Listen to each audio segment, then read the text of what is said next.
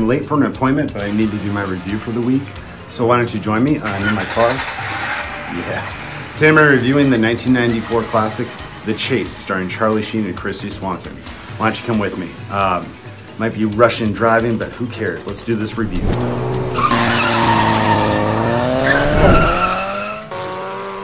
Charlie Sheen plays an escaped convict and he's at this liquor store and there's these cops that come in. He actually hears on the cops' radios that they're talking about him and they're, they're looking for him. He gets paranoid, grabs a Butterfinger, and takes Kristy Swanson hostage. And they go into her beautiful BMW, which actually is the same model that I'm driving right now. Sorry, sorry, trying to drive. Anyways, he takes her hostage and then of course everyone starts to chase after him, hence the movie's name, Chase. And god damn, this is one cool chase movie. Literally, the movie lives up to its title, pretty much in one setting, and it is one big freaking chase. So all the police forces after him. And there's these two cops that were doing this ride-along with these uh, news reporters, and they're kind of interviewing them, and then gradually they get called onto the chase too. And one of them is played by Henry Rollins and the other is played by this guy. These guys are hilarious and it's so funny because they're literally following our main characters throughout the whole movie. I love Henry Rollins in this. He really steals the show. He's great. Hold on.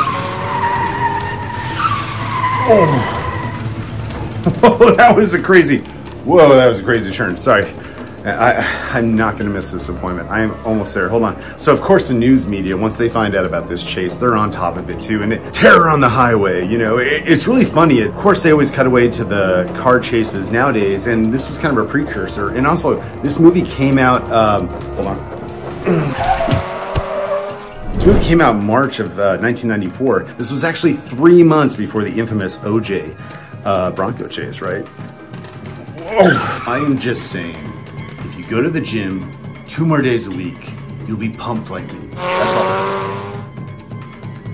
What's the reading? 85 miles in a 30 yes. zone. Let's get this guy. Does he not want to stop?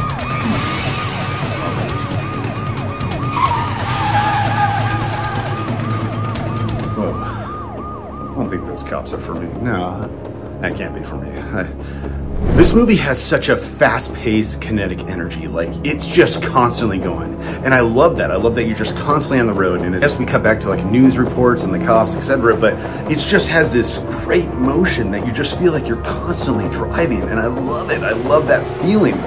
Damn, I feel like I'm getting off on this review. This guy really doesn't want to stop for us, huh? Oh, we got a high-speed chase going on here. Let's do it. Let's do it. It's gonna get me so pumped. I'm pumped for this chase. Yes! So of course the cops are constantly behind them. The news media is now following them. They can't escape and they're just, Charlie Sheen's just going to go to Mexico. That's his plan. Of course, as they're driving, you know, he starts to get to know Kristy Swanson's character. And of course, there's a little bit of connection and gradually and gradually they start getting an actual connection. She starts to like fall in love with him. Actually, one of my favorite scenes is actually the sex scene where they do it in the car. There's this 90s song by this band. It's actually a really cool song. I like it. I, I can't play it for copyright reasons, uh, but it's actually kind of a cool sex scene. I, I, I dug it. And of course, then they have to get to Mexico. Will they make it? What happens between them? I'm not gonna ruin that for you. I had a great time rewatching this. I mean, just the, the energy of this movie is just incredible. Oh shoot, let me put my hands on the wheel again, sorry. Think you can run from us? You can't, buddy. You can't. Charlie Sheen's really good in this. Uh, this was a time when Charlie Sheen was just busting out movies like crazy. Like, look at how many movies he made at this time. He, he was. This was before the Two and a Half Men phase and the uh, Tiger I'm Winning phase. Like Adam Rifkin, who ended up doing Detroit Rock City later on. He, he did a great job. The, the just the pace, the energy of this movie is so cool. You know, I, I, I love it. Um, overall, I'll give The Chase five out of five. Red BMW it, it, it's that good. Almost to the place. All right. Yes, I'm there. Anyways, uh, subscribe and like to the channel and